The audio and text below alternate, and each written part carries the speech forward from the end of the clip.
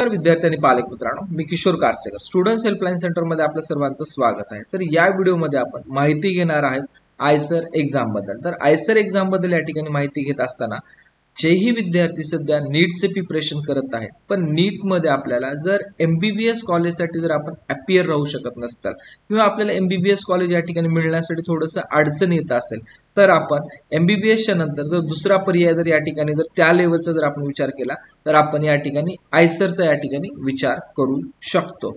जे विद्यार्थी P C B ग्रुपचे आहेत अशा विद्यार्थ्याला आयसर एक्झामिनेशन ॲप्लिकेशन भरणं खूप जास्त महत्त्वाचं असू शकतं.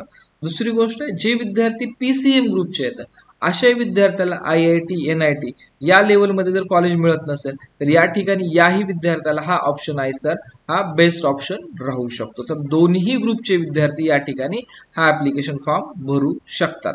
ठीक आहे? तर या ठिकाणी आयसर म्हणजे काय? आयसर म्हणजे Indian Institute of Science and Education and Research हे आयसरचा लॉंग फॉर्म होत असतो. आता लॉंग फॉर्ममध्येच बऱ्याच गोष्टी दडलेल्या आहेत की एक्झॅक्टली आपण जे एक्झाम देत आहोत आणि एक्झामिनेशन जो आपण कोर्स चॉईस करणार आहोत या कोर्समध्ये आपल्याला टोटली आपल्याला जेही एक्झाम आपलं एज्युकेशन असणार हे एज्युकेशन आपल्याला रिसर्च सेंटरमध्ये आपल्याला या ठिकाणी घालवावं लागणार आहे. सोबतच जर आपण आयसरचा विचार केला असता आपल्या भारतामध्ये टोटल सात आयसरचे इन्स्टिट्यूट आहेत जेही तुमच्या स्क्रीनवरती ऑलरेडी दिसत आहेत. आणि हे टोटल इन्स्टिट्यूट लक्षात घ्या हे टोटल इन्स्टिट्यूट हे गव्हर्नमेंट इन्स्टिट्यूट असणार आहेत. यामध्ये private semi government deemed university हा प्रकार नाहीये.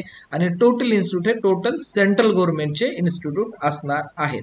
आणि यामध्ये पाहिलं असता इन्स्टिट्यूटचा जर आपण विचार केला तर बहिरमपूर भोपाल कोलकाता मोहाली पुणे त्रिवारमपूर त्रिअनंतपुरम आणि नंतर तिरुपती. या सात ठिकाणी आपल्याला आयसरचे या ठिकाणी आपल्याला इन्स्टिट्यूट अवेलेबल असलेले दिसून येतील.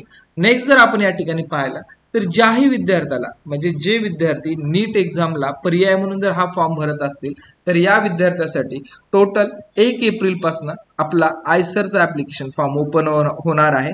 आणि या फॉर्मची क्लोजिंग डेट आहे तेरा मे. लक्षात घ्या काही विद्यार्थ्याला वाटत असेल की नाही माझे जर समजा आयसरमध्ये पैसे वेस्ट जाणार असेल किंवा मला आयसर तेवढं काही विशेष वाटत नाहीये तर आपण नीट एक्झाम झाल्यानंतर आपली आन्सर की चेक केल्यानंतर सुद्धा हा ऍप्लिकेशन फॉर्म भरू शकतो. कारण पाच मेला आपली नीट एक्झामिनेशन आहे आणि तेरा मे पर्यंत या फॉर्मची लास्ट डेट आहे.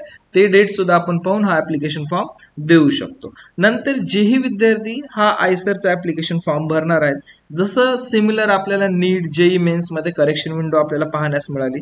तसंच या सुद्धा फॉर्ममध्ये आपल्याला करेक्शन विंडो टू डे साठी ओपन असणार आहे. या करेक्शन विंडो मध्ये फॉर्म भरत असताना जर आपल्याकडून काही चुका झाल्या असतील तर या चुका आपण या करेक्शन विंडो मध्ये क्लिअर करून घेऊ शकतो.